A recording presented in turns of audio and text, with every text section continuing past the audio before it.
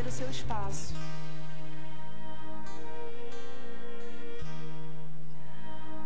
Olá, esse é o nosso espaço feminino no tema família. Hoje só vai dar comidinha boa pra caramba!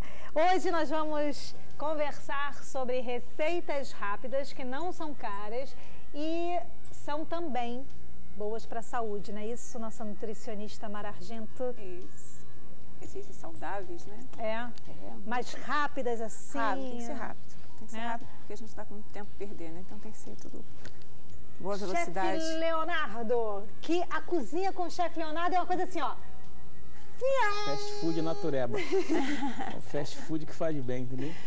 Tá certo que eu faço, mas não como. Deu pra perceber que. Ah, Como a gente vai fazer um prato aí. A Letícia me desafiou a fazer um prato com aquilo que tem em casa, aquela coisa toda. Ela mexeu com quem estava quieto, ela vai ter. né? Mexeu com quem estava quieto. Porque a ideia hoje é assim, já que a gente tem muita coisa que às vezes fica em casa e a gente não pode hoje, não tem condição de jogar nada fora, né? A gente tem que aproveitar tudo. É a questão do respeito. Eu falo isso muito lá na cozinha, né? Você ter respeito pe- pela terra, porque aquilo levou um tempo para ser cultivado. Alguém trabalhou para aquilo. O cara simplesmente olha, isso aqui não dá. Um cara desse não, é, vive um, mundo da lua, né? Tem gente, tanta gente com fome passando Sim. necessidade, o cara simplesmente porque esteticamente né? não está da maneira que ele quer. Eu acho que o cara tem que se virar, ele tem que criar em cima daquilo que, que tem, né? Nós fizemos aqui um programa com um, um, um quiche é, que era de é, casca de melancia, não foi isso? Casca de melancia, gente. O chefe é, é, fez, triturou, sabe? E trabalhou a casca da melancia de uma forma, ficou sensacional. Com legumes dentro e tal, ficou sensacional. E foi a casca da melancia. Tá vendo? O negócio é aproveitar tudo. Todo o alimento, porque na casca é que tem a maior quantidade de nutrientes. Uhum. Então, à medida que vai, você vai penetrando no alimento, vai reduzindo a quantidade de nutrientes. Então, por que jogar a casca fora? É, e às vezes eu não aproveitar tudo que comer- é a pessoa comer a maçã, ela descasca a maçã. Não, deveria Um aproveitar. programa que eu fiz, que eu fiz a batata com casca, que você olhou assim, e ficou até bonitinha. Lembra que o último filme, aquele aham. chip de batata, ela com casca, eu falei isso. Isso. Papai do céu colocou aí, deixa ela quieta no lugar dela. É, e só. você sabe que o que ele está falando, eu pensei até em hoje falar sobre batata. Ele falou exatamente o que eu queria que fosse falado. É a batata, quando ela é cozida com a casca, é super legal até para o diabético, porque ela reduz a disponibilidade do açúcar que está na batata. Que coisa Então, boa. é importante que o diabético ou qualquer um de nós venhamos a fazer a batata sempre com casca. Cozinhar aquela batata com casca, fazer um purê de batata com casca. Sempre aproveitando, né? Isso é muito legal. Então nós vamos fazer um programa hoje todo lá na cozinha com essas receitas. Chefe Leonardo, qual é o- a, a sua, a sua ideia para hoje? eu vou fazer um, um prato que a pessoa vai fazer em casa, vai receber uma visita, um amigo, alguém, a nível de restaurante, uma coisa bem simples, com tudo aquilo que você tem em casa, na geladeira, e está lá desperdiçando, você não sabe com o que vai fazer. Então vou te dar uma opção de fazer um- até um jantar para a esposa, para o marido, vai ficar uma coisa bem, bem legal. Com a- olha, o Super Bruno tá dando aí um take do nosso en Place, que é a nossa organização da mesa. coisa, bem simples, Não bem... é? E, e- e é um crepe de acelga, é isso? Com queijo, azeite de ervas e frango grelhado. Isso, uma coisa e um molhinho de tomate que todo mundo tem um, um molho de tomate ou pronto ou aquele tem gente que tem o hábito de fazer um molho de tomate e deixar na geladeira. Vai ser uma coisa assim, você vai dizer, pô, eu tenho isso tudo que ele fez, eu tenho em casa. Vai abrir a geladeira e vai, vai conseguir fazer. Tão fácil que chega a ser fácil. E Mara, Oi. o, o Super Bruno tá ali com um take do que você vai hoje trazer pra gente. Uma salada detox e um suco detox? É isso? Isso, isso. Está tão em moda, né? Olha vai ser um suco só. detox, vai ser uma salada detox com, algumas, com alguns ingredientes aí. Ingredientes até da época, né? Legal. E o que a gente tem que tentar mesmo é estar pegando os ingredientes da época, que é muito mais saudáveis do que em outra, outra etapa. É isso que a gente precisa trabalhar, né, chefe? E Mara, é que às vezes a gente quer usar um, um, um, uma determinado produto que não é daquela, uma fruta, um legume que não é daquela estação. E a gente perde ali com, aquele, Pois com é. aquela alteração, né? Porque força uma barra É, eu, para a, a fru- a fruta ou o eu legume. faço cardápio em cima da, da, da sazonalidade. Da sazonalidade. Aham. É aquilo que tem disponível na época, eu vou fazendo o cardápio em cima daquilo. Não adianta eu querer usar morango em em março, que tá aquele calorão brabo, não vou achar Uhum. morango, fazer um cardápio. Vai ter, mas vai aquele morango não vai Pois ser é. aquele morango bom que eu vou comer Você- em julho. Você falou uma coisa interessante. Vai ter no mercado. Mas não Mas. Mara, não é para comprar. Não, não é. Não Não, compra, deveria. não Não, compra, deveria, gente. porque é risco. A fruta não é da estação, mas está disponível lá no mercado, não compra. Dia na É, cozinha tá Porque benzido. certamente ela. Cozinha- Exatamente, deve. na cozinha tá benzido. É. Não compre.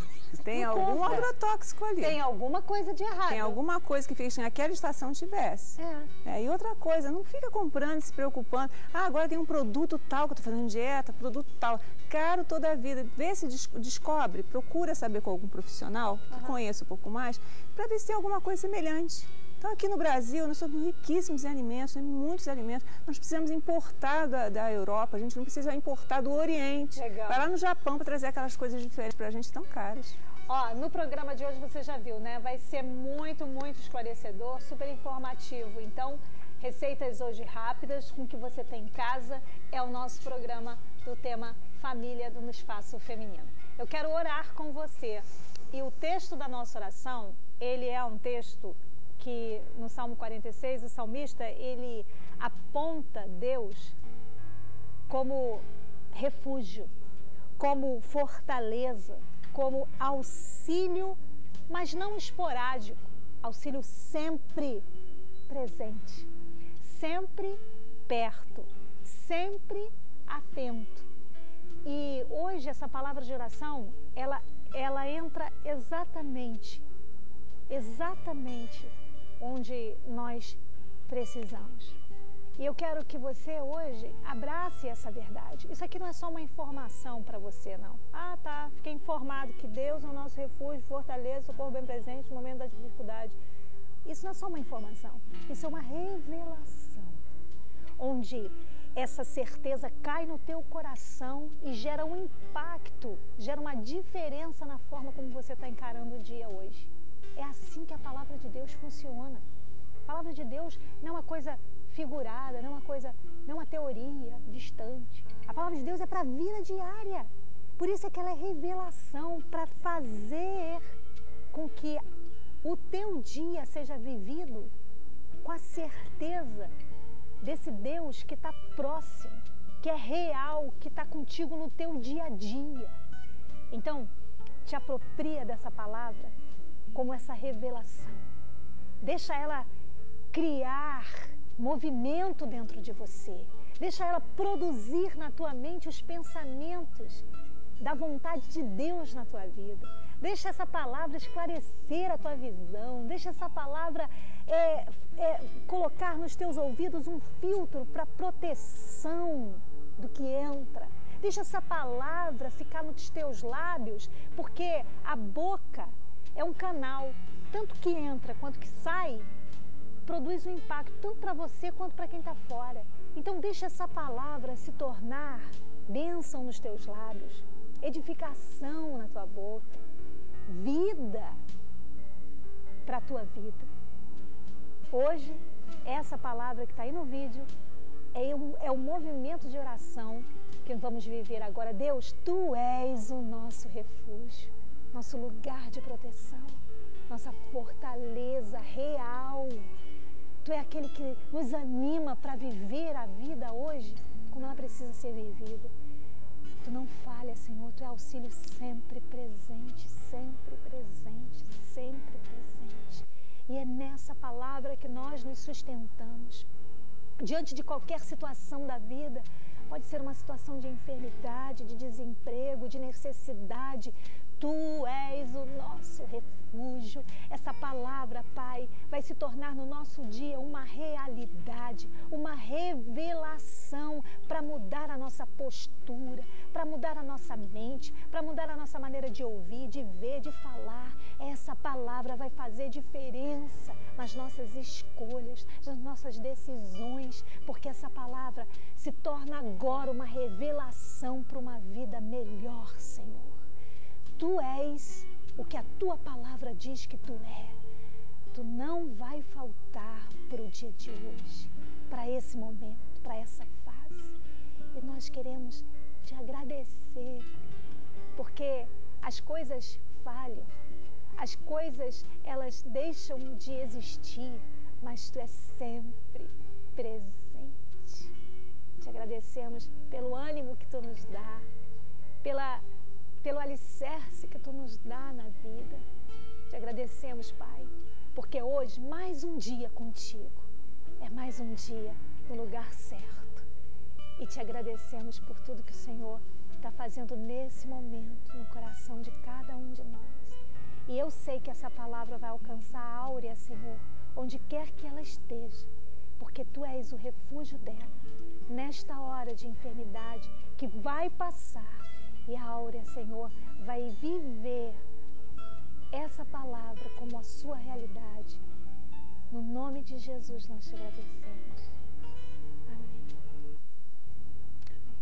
Amém. Não deixa essa, esse texto do Salmo 46, o primeiro versículo, passar desapercebido.